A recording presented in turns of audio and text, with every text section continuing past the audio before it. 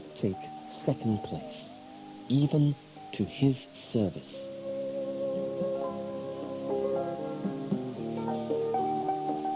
You know, we get too busy sometimes.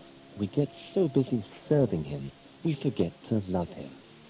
This is the greatest temptation of workers for the Lord, the greatest danger. For if you neglect your fellowship with the King of Kings because you're so busy with the affairs of the kingdom, it can be disastrous to your spiritual life and communion with the Lord. However sincere and faithful you are to his work, you must put him first. God, that is, not the work, nor even others. Jesus comes first. He doesn't fit second place, and he won't take it. For I, the Lord, will have no other gods before me. That probably is the greatest mistake of sincere Christians, to make a God of God's service. Your feverish activity is nothing. Your service is nothing if you don't give the King your attention, your love, your time, your communion.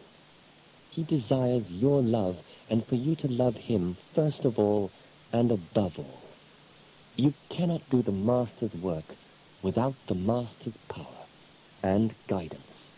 And to get it, you must spend time with the Master. So help us, Lord, never to forget that the first place is for you, and that we must drink of thee and thy spirit if we're going to have enough, not only for ourselves, but also to overflow upon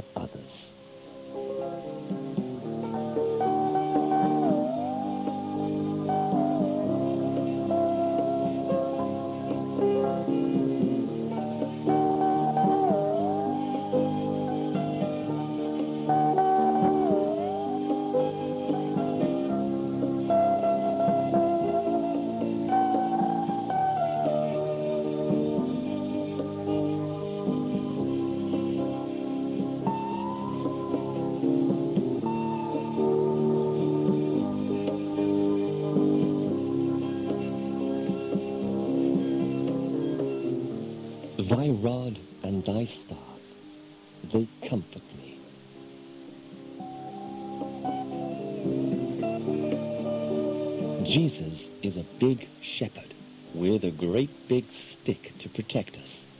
And when the wolves get too close, he socks them with his rod. He wallops them, and he saves his little sheep. It's his rod of authority, the power of the great shepherd and his staff to resist and bind the devil and drive away evil.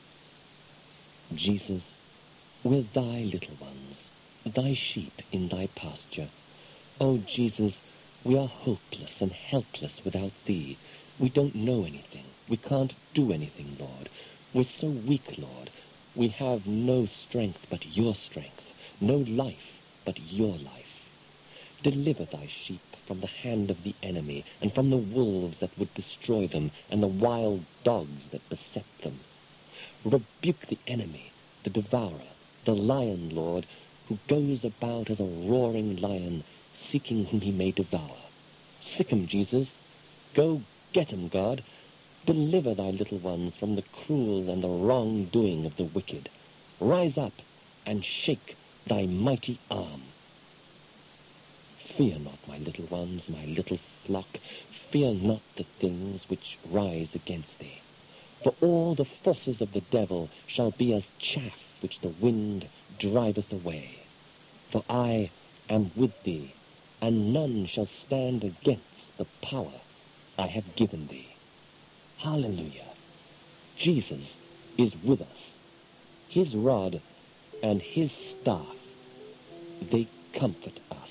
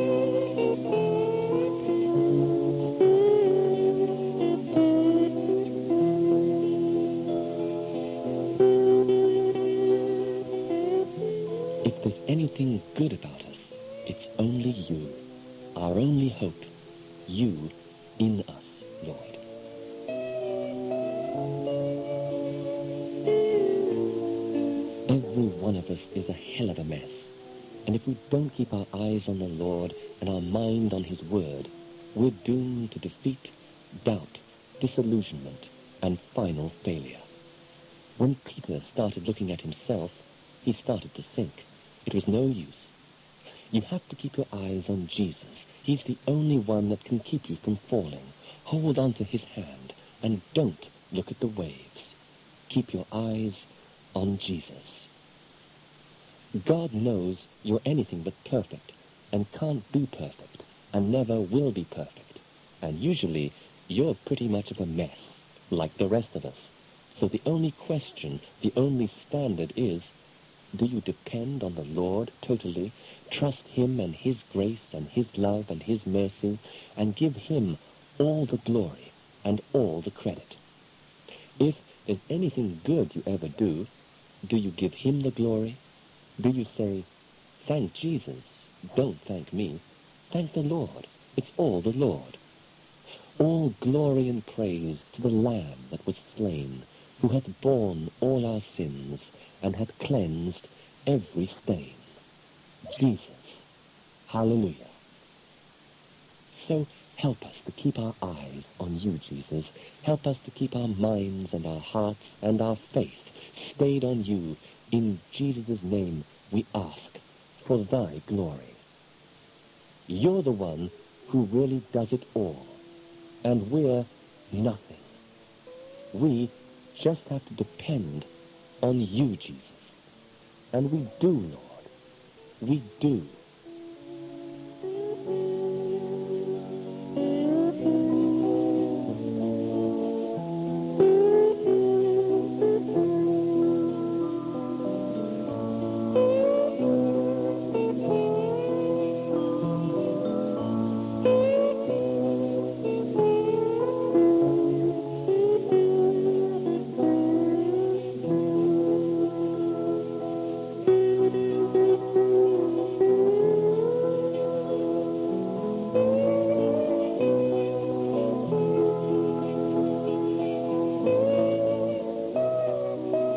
Most important job you have is listening to the King. To stop, look, and listen.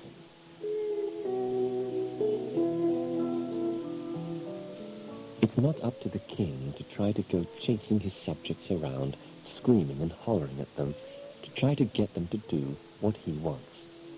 He isn't going to go chasing you around, trying to beat you over the head with a Bible to get you to listen.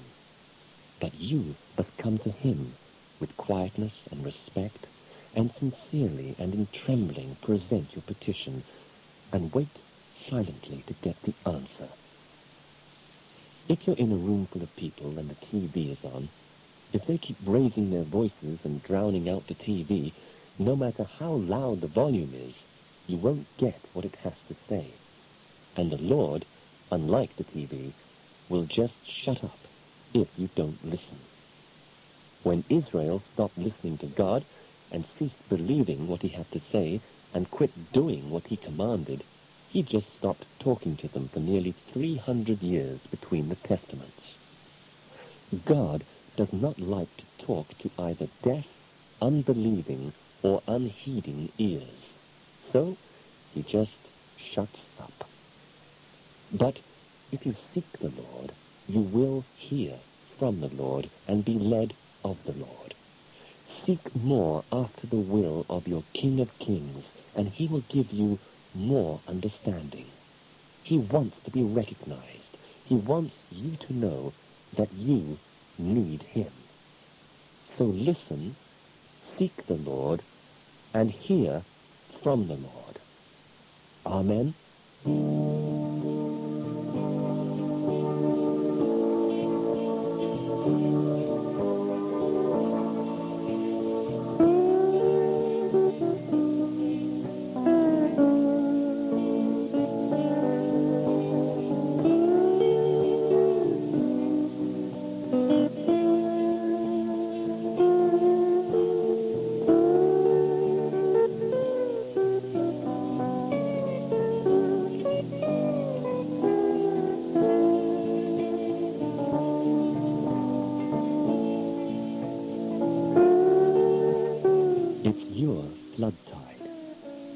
Stubborn rocks, obstacles, and logs that would stop us, help us around them, Lord, or remove them.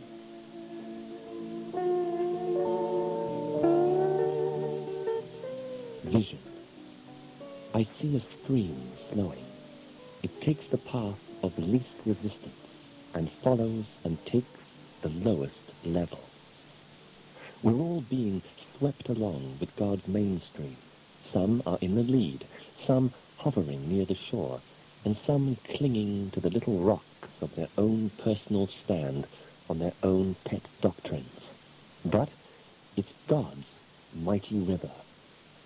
Thou must flow with the current of my will and where I lead, and avoid the rocks and the ledges and the protuberances and the roots that would ensnare and catch and stop. But thou must flow even as I have led David. God will make a way. He has promised. Where he guides, he always provides. And one of the ways to know the will of God is by the open doors. So take advantage of the doors which the Lord has already opened for you. You don't have to climb the banks or over the rocks. Just flow with it. Try to avoid the obstructions and follow the path of least resistance, going where there is the most receptivity, the most openness, always seeking the lowest level. Proceed steadily on, in spite of everything, following the refreshing river of God's will, as you seek the driest places of the earth, who need his life-giving waters of life.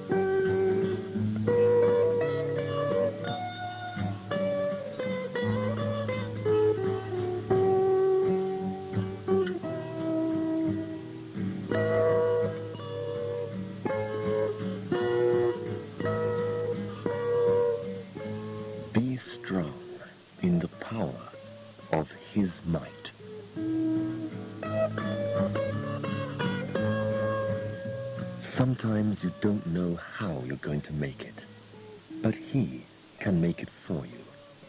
God can make it through you, as long as you depend on him, his Holy Spirit, and his word.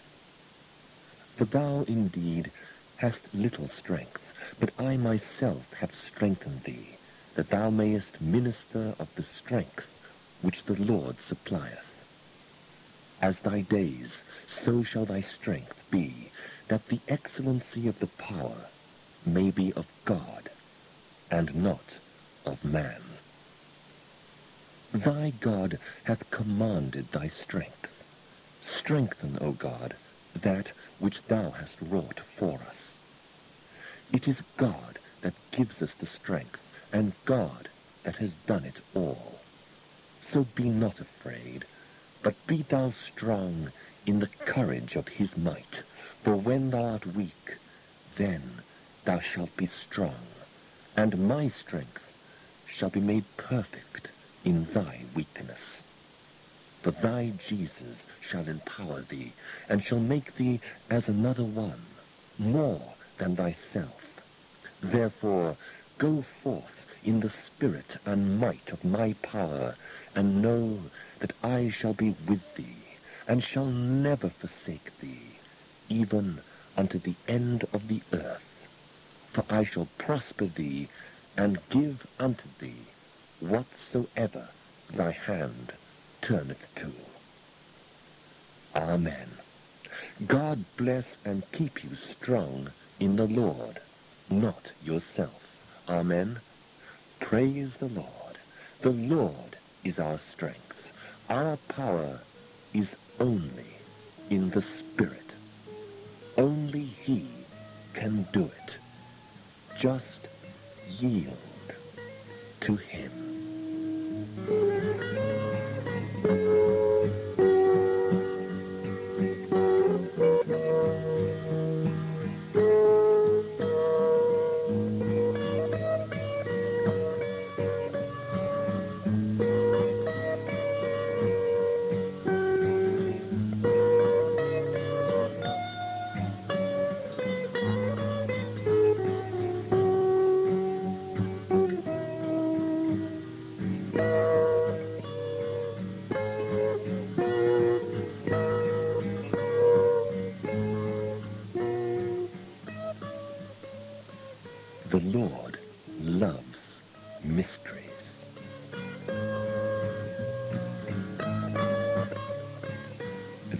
Lot of things I wonder about that God doesn't show me.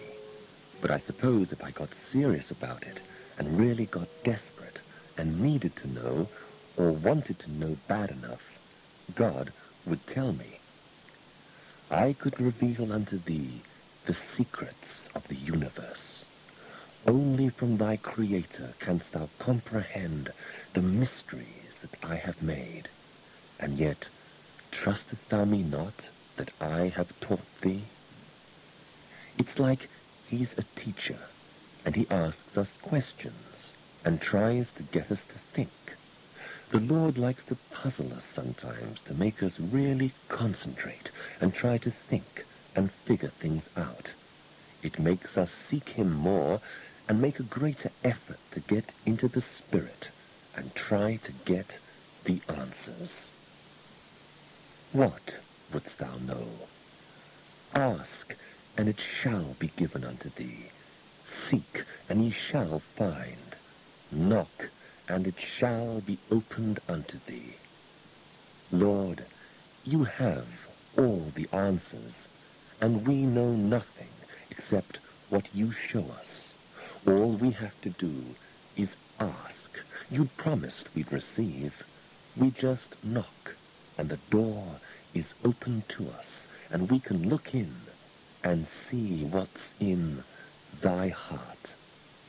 If we really seek the answer, we find it. If thou shalt seek unto me the Lord thy God, it shall be revealed unto thee the mysteries of the kingdom of God. He himself will teach you and reveal to you the greatest of his secrets.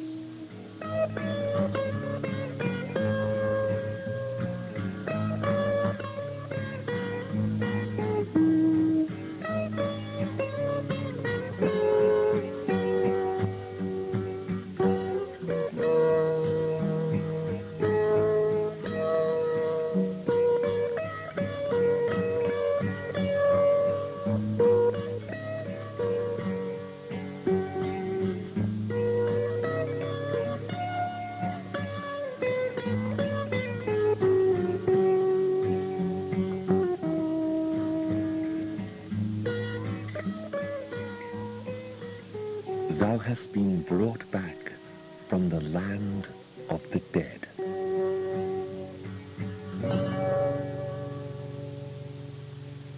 He has called himself out a people. For I will make them a people which were no people, and I will be their God. The breath of my spirit hath created many. The breath of my spirit hath raised up as though it were stones from the dead. The breath of my spirit hath raised up these bones from a dry valley, and that which was not have I made into that which is.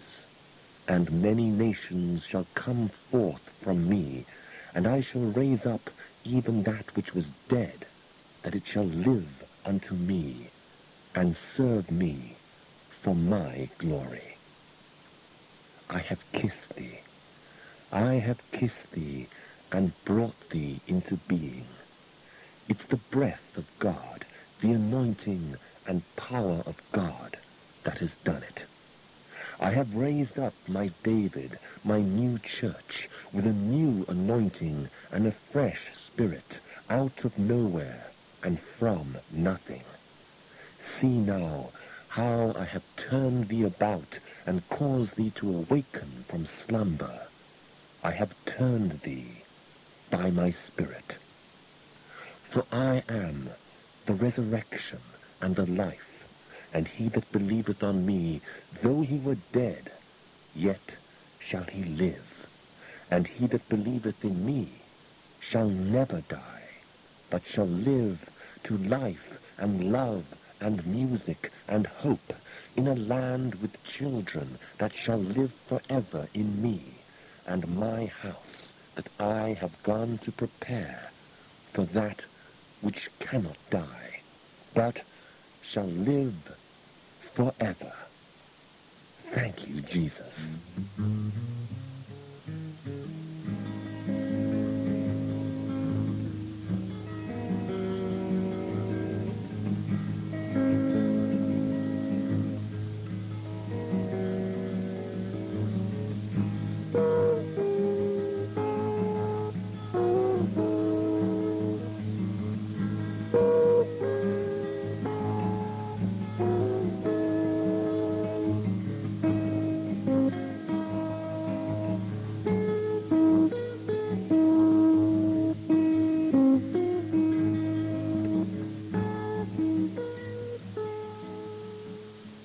Nothing happens to his children but by his will and with his permission.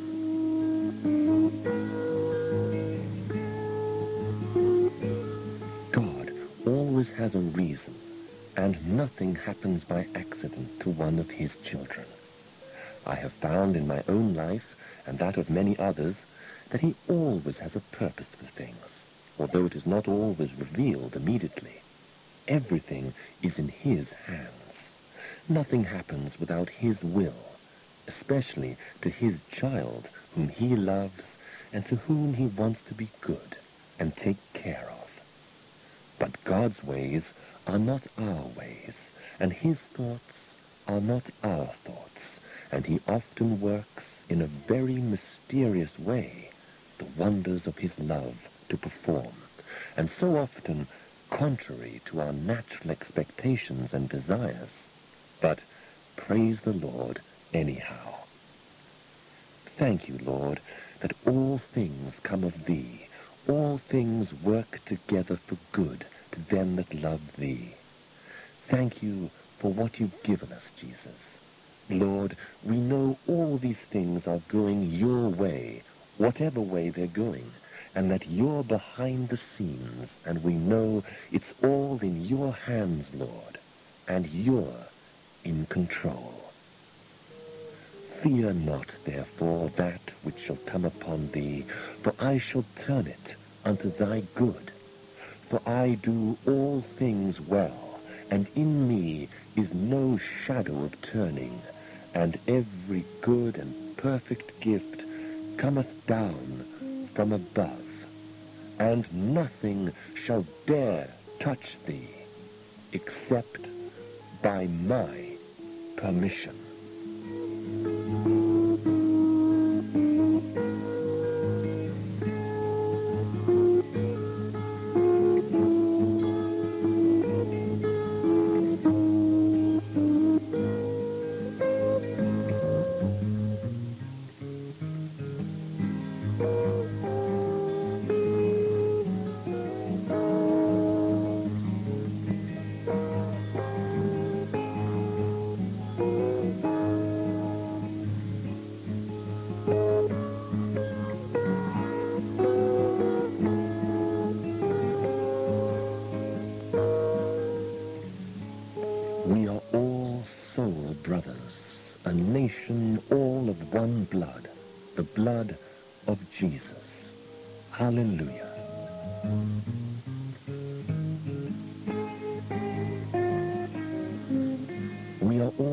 God's children and members of his kingdom, citizens of his new nation, where there is neither Jew nor Greek, bond nor free, male nor female, for ye are all one in Christ Jesus.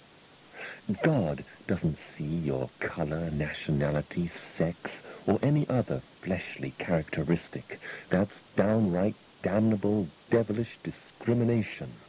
For God looketh on the heart, not on the outward appearance. In the realm of the Spirit, you're only a Christian. It doesn't matter what color you are, or what sex you are, or what social status you are, or what father you had.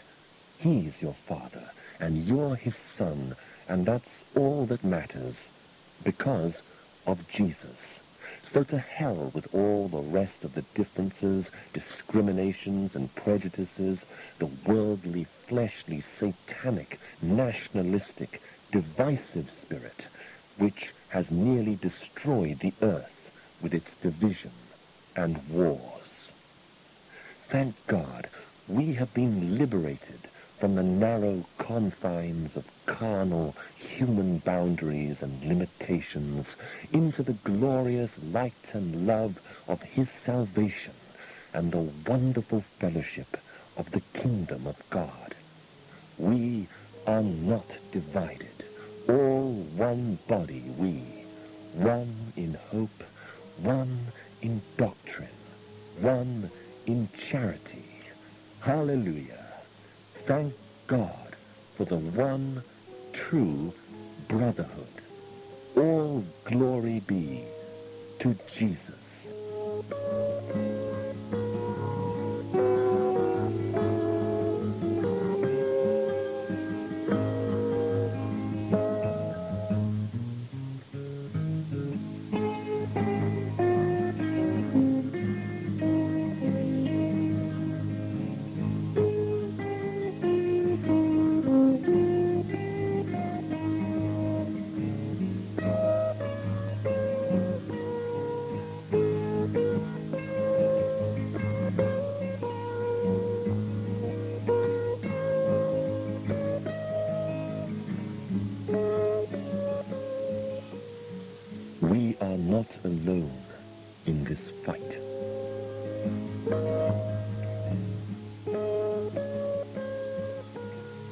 There's a war going on, a war of the worlds between two worlds, the world of evil and the kingdom of God.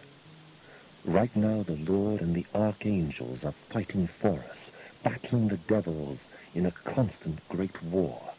And we're on God's side, the winning side that cannot lose. Thank the Lord for his angels that guard and protect us, his mighty defenders, one of which could handle all the arms of the enemy. Thank God for those who work with us within the veil and the fifth dimension, his heavenly spirits, his ministering spirits, his angels that help us all the time. We know, Lord, that thy angels encamp round about them that fear thee. But, Lord, help us not to give them a hard time. They try to counsel, guide, and influence us, but they don't make us do things. Only in the most extreme cases does God really step in and intervene. He usually leaves things up to our choice. So help us, Lord, to cooperate and follow the leading of thy Spirit and thy Holy Spirits to do what they know is best. Help us to follow our hunches and feelings and those checks of thy Spirit and those strange, still, small voices, Lord, that tell us this is the way. Walk ye in it. All things are possible to him that believeth. I will give my angels charge over thee to keep thee in all thy ways. Indeed, thou art compassed about with a very great cloud of witnesses.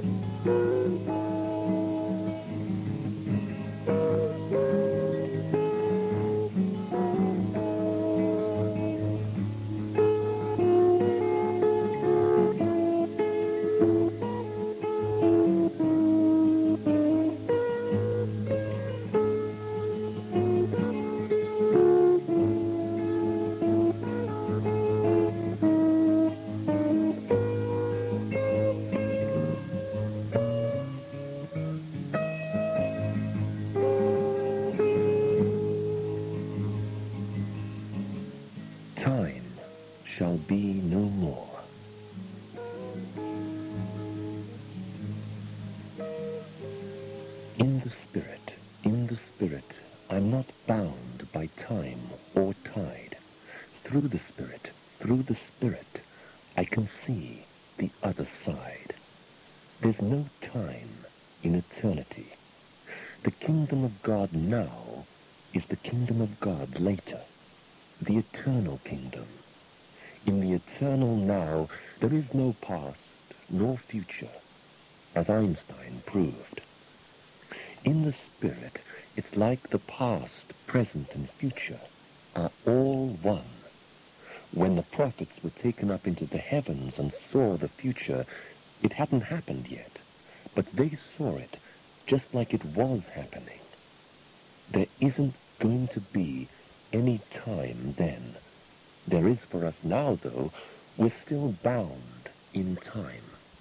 We just don't understand.